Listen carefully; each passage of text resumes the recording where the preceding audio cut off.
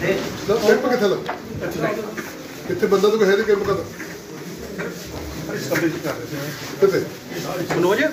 ਕਿੰਨੇ ਪਰਿਵਾਰ ਦੇ ਤੁਹਾਡੇ ਵੀਹ ਪਰਿਵਾਰ ਕਿੱਥੇ ਬੈਠੇ ਮਾਈਕ ਦੇ ਹੈਡਫੋਨ ਜਿੱਥੇ ਕੈਂਪ ਲਾਇਆ ਉੱਥੇ ਭਾਉਂਦਾ ਨਾ ਲੋਕ ਕਿੱਥੇ ਆ ਹਾਂ? ਇਹ ਬੈਠੀ ਪ੍ਰੈਸ ਵਾਲੇ ਬੈਠੇ ਸੀ ਸੁਧਰ ਹੋ ਗਏ ਹਾਂ।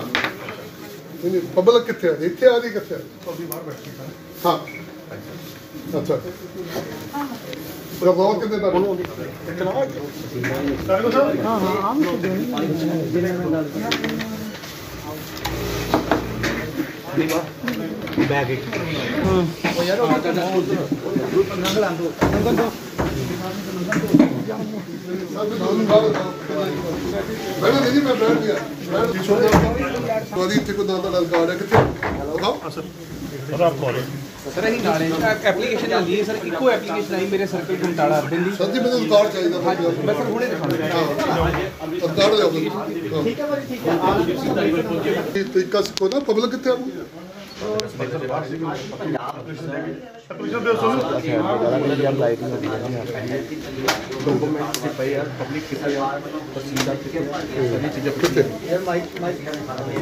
ਜਿਹੜੇ ਜਿਹੜੇ ਇੰਤਕਾਲ ਕੀਤੇ ਆ, ਦਰਜ ਕੀਤੇ, ਉਹ ਵੀ ਲਿਆਓ ਤੋਂ ਉਹ ਵੀ ਲਿਆਓ ਰਿਕਾਰਡ ਲਿਆਓ ਮੇਰੇ ਅੱਗੇ।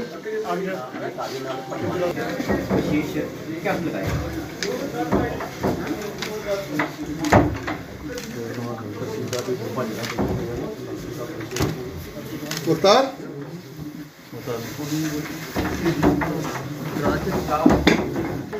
ਅੱਜ ਤੋਂ ਬਾਅਦ ਇਹ ਮੁੜ ਕੇ ਨਹੀਂ ਆਉਣਾ ਚਾਹੀਦਾ ਤੇ ਨਾ ਇਹਨਾਂ ਦਾ ਗਿਲਾ ਰਹਿਣਾ ਚਾਹੀਦਾ ਦਾ ਪਹਿਲੇ ਪਹਿਲ ਦੇ ਦਾਤੇ ਠੀਕ ਹੈ? ਹਾਂ ਮਤਲਬ ਜੇ ਦੁਬਾਰਾ ਇਹ ਇਹਨਾਂ ਨੇ ਡੀਸੀ ਕੋ ਜਾਣਾ ਇਹਨਾਂ ਨੇ ਐਸਡੀਐਮ ਕੋ ਜਾਣਾ ਕਿੱਥੇ ਜਾਣਾ? ਤੁਹਾਡੀ ਡਿਊਟੀ ਠੀਕ ਹੈ? ਤੇ ਜ਼ਿਆਦਾ ਸਪੈਸ਼ਲ ਲੋਕ ਮਿਲਣਾ ਦਾ ਬਾਈ ਦਵਾਂ ਦੋ ਸਰ 2 ਸਾਲ ਹੋ ਗਏ। 2 ਸਾਲ ਹੋ ਗਏ। ਅਮਰਜੀਤ ਜੀ ਸਰ 2 ਸਾਲ ਹੋ ਗਏ ਦੂਜਾ ਫੇਰਾ ਨਹੀਂ ਪੈਣਾ ਚਾਹੀਦਾ। ਆਪਣਾ ਸਿਸਟਮ ਇਦਾਂ ਦਾ। ਠੀਕ ਹੈ ਸਰ। ਠੀਕ ਹੈ ਨਾ ਥੋੜਾ ਫੀਲ ਕਰੋ ਕਿ ਸਰਕਾਰ ਮਾਨ ਸਾਹਿਬ ਕੰਮ ਕਰੋਗੇ ਨਾਮ ਮਿਲੂਗਾ? ਨਹੀਂ ਕਰੋਗੇ? ਜਿਹੜੀ ਚਿੱਠੀ ਦਿੱਤੀ ਸੀ ਮੇਰੀ ਲਿਖ ਕੇ ਹਾਂ। ਕਾਨੂੰਗੋ ਨੇ ਮੇਰੀ ਚਿੱਠੀ ਗਵਾਤੀ। ਤੁਸੀਂ ਤਾਂ ਇਹ ਆਪਣਾ ਦੁਕਾਨ। ਕੋ ਤੁਸੀਂ ਅੱਜ ਚੰਗੇ ਬੰਦੇ ਜ਼ਿਆਦਾ ਤੁਹਾਡੇ ਲੰਮੇ ਆਈ ਜਾਂਦੇ। ਮੇਰੇ ਚੰਗੇ ਬੜੇ ਬੰਦੇ ਆਏ ਆ। ਦੁਬਾਰਾ ਫੇਰ ਕਰਕੇ। ਦੇਖੋ ਮੇਰੀ ਗੱਲ ਹੈ। ਸਰ। ਜੇ ਮੀਡੀਆ ਵਾਲੇ ਦਾ ਇਹ ਹਾਲ ਹੈ ਤਾਂ ਬਾਕੀਆਂ ਦਾ ਕੀ ਹਾਲ ਹੋਊਗਾ? ਹੋਰ ਬੰਦਾ ਅੱਗੇ ਤੋਂ ਖਿਆਲ। ਇੱਕ ਇਹ ਭੈਣ ਜੀ ਹੋਣੀ ਹੈ, ਇਹਨਾਂ ਦਾ ਕੇਸ ਹੈ ਜਿਹੜੇ ਕਿ ਆ ਕੇਸ ਲੋ ਇਹਨਾਂ ਦਾ ਹੀ ਆਪਣੇ। ਮੇਰੇ ਮੇਰੇ ਮਹਿਕਮੇ ਦਾ। ਇਹਨੂੰ ਕੰਪਲੀਟ ਕਰ। ਸਰ ਇਹ ਤਹਿਸੀਲ ਚ ਗੇੜੇ ਨਾ। ਜੇ ਗੇੜੇ ਮਾਰ ਕੇ ਮੇਰੇ ਕੋਲ ਚੱਲ ਗਈ ਹੈ ਦੁਬਾਰਾ। ਸਰ ਆਪਣੇ ਕੋਲ ਫਿਰ ਕੋਈ ਨਹੀਂ ਹੁੰਦਾ। ਫਿਰ ਮੈਂ ਮੈਂ ਪਹਿਲਾਂ ਤਾਂ ਮੈਂ ਆਪਣਾ ਕੰਮ ਪਿਆਰ ਨਾਲ ਹੀ ਕਰਦਾ। ਜੇ ਕੋਈ ਅਫਸਰ ਨਹੀਂ ਕਰਦਾ ਤਾਂ ਫਿਰ ਭਾਜੀ 81 ਦਾ ਪਲਾਟ ਦਿੱਤਾ ਹੈ ਕਬਜ਼ਾ ਆਇਆ ਹੈ ਹਾਂ ਬਹੁਤ ਤੰਗ ਇਹਨਾਂ ਦਾ ਬਹੁਤ ਪੁਰਾਣਾ ਪਲਾਟ ਹੈ ਯਾਰ ਇਹ ਵਿਚਾਰੇ ਉਹ ਕਬਜ਼ਾ ਕਰੀ ਜਾਂਦੇ ਇਹਦਾ ਮੰਮੀ ਤੁੰਦ ਕਾਰ ਚ ਬੈਠੇ ਆ ਬਜ਼ੁਰਗ 70 ਸਾਲ ਹਾਂ ਇੱਕ ਇਹ 77 ਇਹਨਾਂ ਦਾ ਵੀ ਕਰਕੇ ਦਿਓ। ਠੀਕ ਹੈ? ਹਾਂ ਕੋਈ ਲਾਮਾ ਨਹੀਂ ਸਰ ਪਬਲਿਕ ਕਿਉਂ ਲਾਮਾ ਦੋ ਆਪਾਂ ਕੱਲ ਹੀ ਬੈਠੇ ਸਾਨੂੰ ਲੋਕਾਂ ਨੇ ਵੋਟਾਂ ਪਾ ਕੇ ਐਮਐਲਏ ਬਣਾਇਆ ਮੰਤਰੀ ਬਣਾਇਆ ਇਸੇ ਕਰਕੇ ਬਣਾਇਆ ਕਿ ਲੋਕਾਂ ਦੇ ਕੰਮ ਕਰੀਏ। ਤੁਹਾਨੂੰ ਤਹਿਸੀਲਦਾਰ ਬਣਾਇਆ ਪਟਵਾਰੀ ਬਣਾਇਆ ਤਨਖਾਹਾਂ ਮਿਲਦੀਆਂ। ਇਹ ਸਰ ਦੋ ਦੋ ਸਾਲ ਦੇ ਬੰਦੇ ਫਿਰਦੇ ਤਾਂ ਬਹੁਤ ਮਾੜੀ ਸਰ ਲੱਗਦਾ ਕਿ ਮਸਲੇ ਹੱਲ ਹੋ ਜਾਣਗੇ ਅੱਜ ਤੁਸੀਂ ਆਏ ਜੇ ਕਰਨਗੇ ਸਾਰੇ ਮਸਲੇ ਹੱਲ ਕਿਉਂਕਿ ਲੋਕਾਂ ਦੀਆਂ ਮੁਸ਼ਕਲਾਂ ਬਹੁਤ ਨੇ ਦੋ ਨੰਬਰ ਸਰ- ਤਹਿਸੀਲ ਸਰਦਾਰ ਭਗਵੰਤ ਸਿੰਘ ਮਾਨ ਜੀ ਦੀ ਸਰਕਾਰ ਆ ਪਬਲਿਕ ਪਬਲਿਕ ਦਾ ਹਰ ਮਸਲਾ ਹੱਲ ਕਰਾਂਗੇ ਤੁਸੀਂ ਘਬਰਾਓ। 2 ਸਾਲ ਹੋ ਗਿਆ ਮੇਰਾ ਇੰਤਕਾਲ ਰੁਕੇ ਨੂੰ। ਕਿੱਥੇ? ਇੱਥੇ ਤਹਿਸੀਲ 2 ਦੇ ਵਿੱਚ। ਹਾਂਜੀ। ਉਹਦੇ ਵਿੱਚ ਉਹਨਾਂ ਨੇ ਜਦੋਂ ਪਟਵਾਰੀ ਨੇ ਨਵੀਂ ਜਮਾਬੰਦੀ ਬਣਾਈ ਆ ਉਹਨਾਂ ਨੇ ਮੈਨੂੰ ਬਣਾਤਾ ਕੇ ਟੇਕਰ। ਪਹਿਲਾਂ ਮੈਂ ਮਾਲਕੀ ਖਾਨੇ ਚ ਹੈਗਾ ਸੀ। ਉਹਨਾਂ ਸਾਰੇ ਕਦੀ ਪਟਵਾਰੀ ਨੇ ਰਿਪੋਰਟ ਕੀਤੀ ਕਾਨਗੋ ਨੇ ਕੀਤੀ ਸਦਰ ਕਾਨਗੋ ਨੇ ਕੀਤੀ ਐਸਡੀਐਮ ਨੇ ਕੀਤੀ। ਤਹਿਸੀਲਦਾਰ ਡੀਸੀ ਸਾਹਿਬ ਨੂੰ ਵੇਖਿਆ ਸ਼੍ਰੀ ਤਲਵਾਰ ਸਾਹਿਬ ਡੀਸੀ ਸਾਹਿਬ ਨੂੰ ਮਿਲਿਆ ਮੈਂ। ਉਹਨਾਂ ਸਾਰੀ ਰਿਪੋਰਟ ਮੇਰੀ ਵੇਖੀ ਪੜ੍ਹੀ ਤੇ ਉਹਨਾਂ ਕਹੇ ਇਹ ਤੇ ਮਾਮੂਲੀ ਗੱਲ ਹੈ ਫਰਦ ਬਦਲ ਬੰਨੀ ਆ। ਤਹਿਸੀਲਦਾਰ ਸਾਹਿਬ ਨੂੰ ਕਿਹਾ ਤੇ ਉਹਨਾਂ ਨੇ ਕੁਛ ਹਾਲੀ ਅੱਜ ਕਰਦੇ ਕੱਲ ਕਰਦੇ ਆ ਲਮਕਾ ਗਏ ਨੇ। ਚਾਰ ਹੋਰ ਮਹੀਨੇ ਕੀ। ਕਹਿੰਦੇ ਹੋਰ ਕੀ ਕਹਿੰਦੇ? ਹੁਣ ਕਹਿੰਦੇ ਡੀਸੀ ਸਾਹਿਬ ਕੋ ਫਿਰ ਮੈਂ ਪੇਸ਼ ਜਾਵਾਂਗਾ। ਹਾਂ। ਇਹ ਰਿਪੋਰਟ ਹੈ ਕਿ ਮੇਰੇ 2 ਸਾਲ ਹੋ ਗਏ ਮੈਂ ਧੱਕੇ ਖਾਣੇ ਰੋਜ਼ ਸਵੇਰੇ ਆਣਾ ਤਿਆਰ ਹੋ ਕੇ। ਡੀ ਆ ਤਹਿਸੀਲਦਾਰ ਸਾਹਿਬ ਕਰ ਦੋ। ਅੱਜ ਮਿਲਿਓ ਮਿਲਿਓ। ਮੈਂ ਤਾਂ ਰੋਜ਼ ਮਿਲਦਾ ਤਹਿਸੀਲਦਾਰ ਸਾਹਿਬ ਨੂੰ। ਹਾਂ। ਨਾ ਨਾ ਮੇਰੀ ਮੇਰੀ ਮਿਲੋ ਚਲੋ ਆਜੋ ਮੈਂ ਡਿਊਟੀ ਉਹਨਾਂ- ਉਹਨਾਂ ਦਾ ਰਿਪੋਰਟ ਹੈਗੀ ਦੇਖੋ। ਕੀ ਹੈ, ਕੀ ਦੱਸੋ ਭਾਈ। 2 ਸਾਲ ਤੋਂ। ਕੋਟ ਖਾਲਸਾ ਦੀ। ਹਾਂਜੀ। ਹਾਂਜੀ। ਬਹੁਤ ਖਬਰ ਹੈ। ਹਰ ਬਹੁਤ ਨਹੀਂ ਹਰ ਪਟਵਾਰੀ ਨੇ ਰਿਪੋਰਟ ਕੀਤੀ ਆ। ਰਜਿਸਟਰੀ ਹੋਈ ਇੰਤਕਾਲ ਹੋਇਆ ਸਭ ਕੁਝ ਹੋਇਆ। ਮੈਂ ਦੂਜੀ ਥਾਂ ਲਿੱਤੀ ਆ। ਉਹ ਕਰ ਦੇਗੀ ਆ? ਦੁਬਾਰਾ ਵਾਪਸ ਪਟਵਾਰੀ ਕੋ ਪਟਵਾਰੀ ਰਿਪੋਰਟ ਬਣਾਉਂਦਾ ਵਾ। ਉਹਨੇ ਫਿਰ ਅੱਗੇ ਪੇਸ਼ ਹੁੰਦਾ ਹੁਣ ਸਾਹਿਬ ਨੇ ਤਾਂ ਸਾਈਨ ਡੀ ਸਾਹਿਬ ਨੇ ਸਾਈਨ ਕਰਨੇ ਨਹੀਂ ਕਰਨ ਤਹਿਸੀਲਦਾਰ ਸਾਹਿਬ ਨੇ ਆ। ਤਹਿਸੀਲਦਾਰ ਕੌਣ ਨੇ? ਕਿਹੜੇ ਪਤਾ ਨਹੀਂ ਮੈਨੂੰ ਨਹੀਂ ਸਮਝ। ਤਹਿਸੀਲ ਕਿਹੜੀ ਤਹਿਸੀਲ 2 ਤਹਿਸੀਲ 2 ਹਾਂਜੀ। ਇਹ ਸਰਕਾਰ ਜਾਣਦੀ ਆ। ਮੈਂ ਕੁਝ ਨਹੀਂ ਕਰ ਸਕਦਾ। ਮੇਰਾ ਰਜਿਸਟਰੀ ਇੰਤਕਾਲ ਪਹਿਲਾਂ ਮਨਜ਼ੂਰ ਹੈ 20 ਸਾਲ ਤੋਂ ਮੈਂ ਮਾਲਕ ਉਸ ਜਗ੍ਹਾ ਦਾ। ਫਿਰ ਉਹ ਪਟਵਾ ਜਿਹੜੇ ਐਕਚੁਅਲੀ ਹੋਇਆ ਕੀ ਆ? ਪਟਵਾਰੀਆਂ ਨੇ ਜੋ ਜਮਾਬੰਦੀ ਬਣੀ ਨਾ ਉਹਦੇ ਤੋਂ ਮੈਂ ਨਾ ਸਰ ਮੇਰੇ ਕੋਲ ਉਹ ਆਏ ਆ? ਕਿਹੜੇ ਕਿਹੜੇ ਕਿਹੜੇ ਬੁਲਾਓ ਅੱਜ ਪੰਜਾਬ ਦੇ ਮਾਨਯੋਗ ਮੁੱਖ ਮੰਤਰੀ ਸਰਦਾਰ ਭਗਵੰਤ ਸਿੰਘ ਮਾਨ ਜੀ ਨੇ ਪੂਰੇ ਪੰਜਾਬ ਦੇ ਵਿੱਚ ਸਾਡੇ ਕੋਲ ਇੱਕ ਬਾਤ-ਬਾਤ ਇਸ਼ੂ ਹੁੰਦਾ ਕਿ ਇੰਤਕਾਲਾਂ ਵਾਸਤੇ ਲੋਕਾਂ ਨੂੰ ਤਹਿਸੀਲਾਂ ਦੇ ਵਿੱਚ ਚੱਕਰ ਮਾਰਦੇ ਪਏ ਜਦੋਂ ਚੱਕਰ ਮਾਰਦੇ ਆ ਕਦੀ ਪਟਵਾਰੀ ਸਾਹਿਬ ਦੇ ਬੈਠੇ ਹੁੰਦੇ ਕਦੀ ਗੁਰਦੌਰ ਸਾਹਿਬ ਦੇ ਬੈਠੇ ਹੁੰਦੇ ਕਦੀ ਤਹਿਸੀਲਦਾਰ ਸਾਹਿਬ ਦੇ ਬੈਠੇ ਹੁੰਦੇ। ਤੇ ਮਾਨ ਸਾਹਿਬ ਨੇ ਕਿਹਾ ਕਿ ਇੱਕੋ ਦਿਨ ਸਾਰੇ ਪਾਸੇ ਕੈਂਪ ਲਾ ਕੇ ਜਿੰਨੀਆਂ ਬਕਾਇਆ ਇੰਤਕਾਲ ਪੂਰੇ ਪੰਜਾਬ ਦੇ ਵਿੱਚ ਰਹਿੰਦੇ ਆ, ਉਹ ਸਾਰੀਆਂ ਮਤਲਬ ਜਿਹੜੀਆਂ ਕੰਪਲੀਟ ਕਰ ਦਿੱਤੀਆਂ ਸੋ ਅੱਜ ਪੂਰੇ ਪੰਜਾਬ ਦੀਆਂ ਤਹਿਸੀਲਾਂ ਦੇ ਵਿੱਚ ਸਾਰੇ ਪੰਜਾਬ ਕੱਲੇ ਇੱਥੇ ਨਹੀਂ ਸਾਰੇ ਪੰਜਾਬ ਦੀਆਂ ਤਹਿਸੀਲਾਂ ਦੇ ਵਿੱਚ ਕੈਂਪ ਜਿਹੜੇ ਉਹ ਲੱਗੇ। ਔਰ ਕੈਂਪਾਂ ਦੇ ਵਿੱਚ ਜਿਹੜੇ ਬਕਾਇਆ ਇੰਤਕਾਲ, ਉਹ ਅਸੀਂ ਕਰ ਰਹੇ ਮੈਂ ਅਜਨਾਲੇ ਵੀ ਜਾ ਕੇ ਆਇਆ, ਰਾਜਾ ਸਾਹਿਬ ਵੀ ਜਾ ਕੇ ਆਇਆ, ਹੋਰ ਥਾਵਾਂ ਤੇ ਵੀ ਚੱਲਿਆ ਇੱਥੇ ਵੀ ਦੇਖਿਆ। ਥੋੜਾ ਇਹਨਾਂ ਕੋ ਸਿਸਟਮ ਸਿਸਟਮੈਟਿਕਲੀ ਨਹੀਂਗਾ ਬਾਕੀ ਚਲੋ ਗੁਰਦੌਰ ਵੀ ਆ ਜਾਂਦੇ ਤਹਿਸੀਲਦਾਰ ਸਾਹਿਬ ਵੀ, ਪਟਵਾਰੀ ਵੀ ਹਾਜ਼ਰ ਨੇ। ਗੱਲ ਸਿਰਫ ਤੁਹਾਡੇ ਰਾਹੀਂ, ਲੋਕਾਂ ਨੂੰ ਇਹ ਕਹਿੰਦੀ ਆ ਕਿ ਜੇ ਕਿਸੇ ਦਾ ਇੰਤਕਾਲ ਜਿਹੜਾ ਰਹਿੰਦਾ ਤੇ ਸੀਐਮ ਸਾਹਿਬ ਨੇ ਤੈਅ ਕੀਤਾ ਆਪਣਾ ਇੰਤਕਾਲ ਆ ਕਿੱਥੇ ਕਰਾਓ।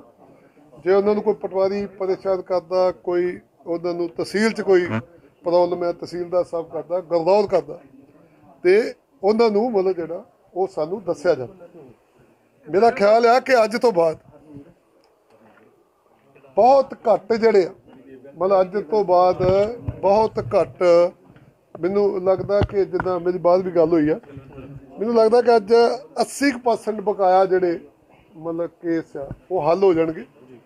10-20% ਜਿਹੜੇ ਰਹਿ ਗਏ ਉਹ ਆਪਾਂ ਦੁਬਾਰਾ ਕੈਂਪ ਲਾ ਕੇ ਦੁਬਾਰਾ ਉਹਨਾਂ ਨੂੰ ਕਰ ਸਰਕਾਰ ਵੱਲੋਂ ਬੜਾ ਵਧੀਆ ਕੀਤਾ ਜਾ ਰਿਹਾ ਹੈ। ਕੀ ਕਰਨਾ ਜੀ? ਉਪਰਾਲਾ ਵਧੀਆ ਕੀਤਾ ਗਿਆ 1700 ਕੁਝ ਸੀ ਜਦੋਂ ਅਸੀਂ ਰਾਤ ਨੂੰ ਚੈੱਕ ਕੀਤਾ ਸੀ 1700 ਕੁਝ ਸੀ ਅੰਮ੍ਰਿਤਸਰ ਜ਼ਿਲ੍ਹੇ ਦੇ ਜਿਹੜੀਆਂ ਇੰਤਕਾਲਾਂ ਹੋਣ ਵਾਲੀਆਂ ਸੀ। ਰਾਤੋਂ ਰਾਤ 200 ਇੰਤਕਾਲਾਂ ਹੋ ਗਈਆਂ। ਤਾਂ ਲੱਗਦਾ ਨਹੀਂ ਕਿ ਪਹਿਲਾਂ ਸਖਤੀ ਕੀਤੀ ਜਾਵੇ ਤਾਂ ਲੋਕਾਂ ਨੂੰ ਪਰੇਸ਼ਾਨੀ ਨਾ ਹੋਵੇ ਕਿ ਸਰਕਾਰ ਵੱਲੋਂ ਤੇ ਉਪਰਾਲਾ ਨਹੀਂ ਨਹੀਂ ਆਪਾਂ ਕਰ ਰਹੇ ਦੇਖੋ ਆਪਾਂ ਦੇਖੋ ਹਰ ਚੀਜ਼ ਜਿਹੜੀ ਆ ਸਹਜੇ ਸਹਜੇ ਆਪਾਂ ਠੀਕ ਕਰ ਇਸੇ ਕਰਕੇ ਅਸੀਂ ਤੈਅ ਇੱਕ ਹੋਰ ਚੀਜ਼ ਤੈਅ ਕੀਤੀ ਜਿਹੜੀ ਤੁਹਾਨੂੰ ਅੱਜ ਹੀ ਦੱਸਦੇ ਹਾਂ ਸੀਐਮ ਸਾਹਿਬ ਨੇ ਅੱਗੇ ਵੀ ਦੱਸਿਆ ਸੀਗਾ।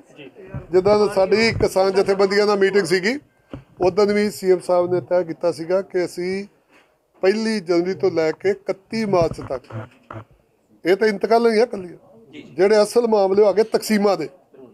ਵੀ ਉਹ ਤਕਸੀਮਾਂ ਦੇ ਜਿਹੜੇ ਆਪਸੀ ਸਹਿਮਤੀ ਵਾਲੇ ਕੇਸ ਆ ਉਹ ਸਾਰੇ ਲੋਕ ਬੈਠ ਕੇ ਜਿਹੜਾ ਉਹ ਸਾਡੇ ਤਹਿਸੀਲਦਾਰ ਦਾ ਉਹਦੇ ਵੀ ਇਦਾਂ ਕੈਂਪ ਲਾਵਾਂਗੇ ਆਪਾਂ। 31 ਮਾਰਚ ਦਾ ਉਹ ਵੀ ਕੰਪਲੀਟ ਕਰ ਦਾਂਗੇ। ਔਰ 31 ਮਾਰਚ ਤੱਕ ਆ ਤੇ ਇਸੇ ਮਹੀਨੇ ਚ ਹੋ ਜਾਵੇ ਤਾਂ ਕੋਈ ਬਹੁਤ ਵੱਡੀ ਗੱਲ ਨਹੀਂ ਇਸੇ 'ਚ ਹੀ ਹੋ ਜਾਊਗਾ ਸਾਰਾ। ਸੋ ਮੇਰਾ ਖਿਆਲ ਹੈ ਕਿ ਜਿਹੜੇ ਲੋਕਾਂ ਨੂੰ ਇੰਤਕਾਲ ਵਾਸਤੇ ਲੋਕਾਂ ਨੂੰ ਤਕਸੀਮ ਵਾਸਤੇ ਜਿਹੜੇ ਚੱਕਰ ਮਾਰਦੇ ਪਏ ਨੇ ਤਹਿਸੀਲੇ ਸੀਐਮ ਸਾਹਿਬ ਉਹ ਚੱਕਰ ਜਿਹੜੇ ਖਤਮ ਕਰਨਾ ਚਾਹੁੰਦੇ ਹੋ ਜਾਣ। ਕੀ ਦਾ ਕਾਰਨ ਕੀ ਹੈ ਜੀ? ਦੋ ਨੰਬਰ ਤਹਿਸੀਲ ਦੇ ਵਿੱਚ 500 ਕੁਝ ਨੇ। ਸਾਰੀਆਂ ਤਹਿਸੀਲਾਂ ਵਿੱਚ ਘੱਟ ਨੇ ਸਿਰਫ ਦੋ ਤਹਿਸੀਲ ਦੋ ਦੇ ਵਿੱਚ ਹੀ 500 ਕੁਝ ਨੇ। ਕੋਈ ਨਹੀਂ। ਦਾ। ਜੇ? ਇਹਨਾਂ ਇਹਨਾਂ ਨਾਲ ਆਪਾਂ ਜੇ ਘਰ ਇੱਥੇ ਵੱਧ ਨੇ ਨਹੀਂ ਹੋਏ ਤੇ ਆਪਾਂ ਇਹਨਾਂ ਨਾਲ ਮੀਟਿੰਗ ਕਰਕੇ ਡੀ ਸਾਹਿਬ ਨੂੰ ਕਹਾਂਗੇ ਕਿ ਇੱਥੋਂ ਦਾ ਕੰਮ ਵੀ ਜਿਹੜਾ ਫਤਿਹ ਕਰ ਦਿੱਤਾ ਜਾਵੇ। ਸਾਡੀ 500 ਆ ਤੁਹਾਡਾ। ਮੀਡੀਆ ਵਾਲੇ ਪੁੱਛਦੇ ਸੁਣੋ ਕਿੰਨੇ ਰਹਿ ਗਏ? ਸੌ ਜੋ 200 ਸਾਲ ਮਿਸੇ ਪੁਰਾਣੇ ਜਿਹੜੇ 18 19 ਠੀਕ ਹੈ। ਅੱਜ ਤਰੀਕ ਕਿੰਨੀ ਹੈ?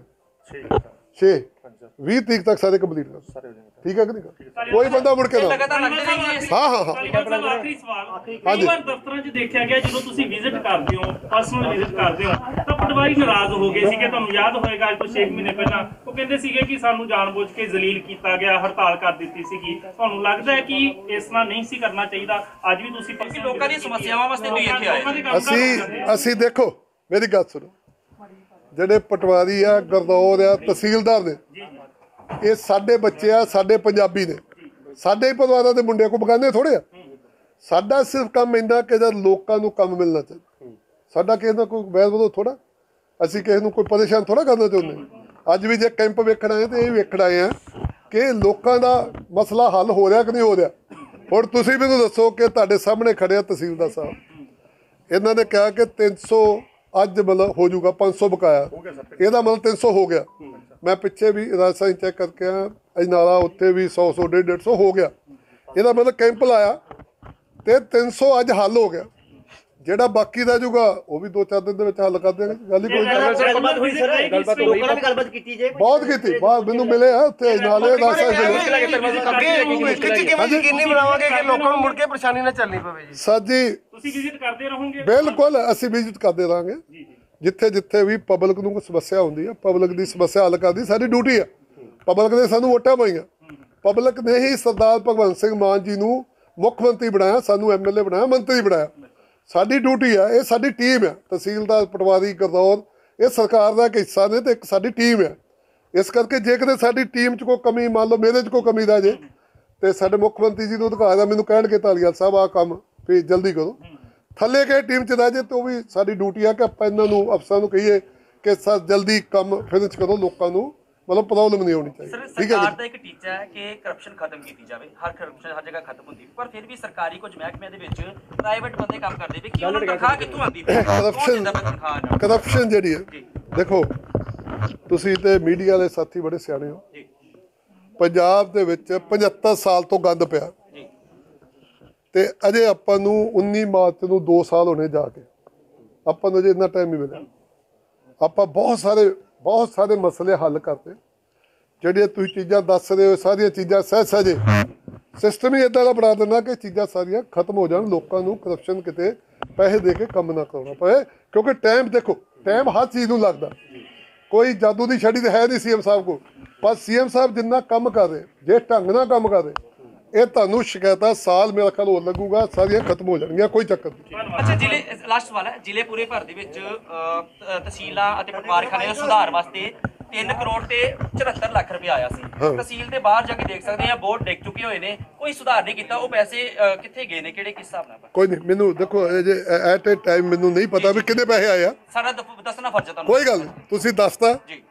ਸਰ ਤੁਹਾਡੇ ਦੱਸਣ ਦੀ ਦੇ ਰਿਹਾ ਜੀ ਅਸੀਂ ਕਾਰਵਾਈ ਸ਼ੁਰੂ ਕਰ ਦੇਣੀ ਗੱਲ ਕੀ? ਆਪਾਂ ਪਤਾ ਕਰ ਲੈਂਦੇ ਆ ਕਿੱਥੇ ਗਏ ਪੈਸੇ ਕੀ ਹੋਇਆ? ਆਪਾਂ ਜੇ ਕੋਈ ਪੈਸੇ ਸਾਡੇ ਕੋਲ ਪਏ ਹੋਏ ਡੀਸੀ ਸਾਹਿਬ ਨੂੰ ਪੁੱਛ ਕੇ ਦੋ ਕੰਮ ਕੰਪਲੀਟ ਕਰਦੇ ਆ ਘਬਰਾਉਂਦੇ ਕੋਈ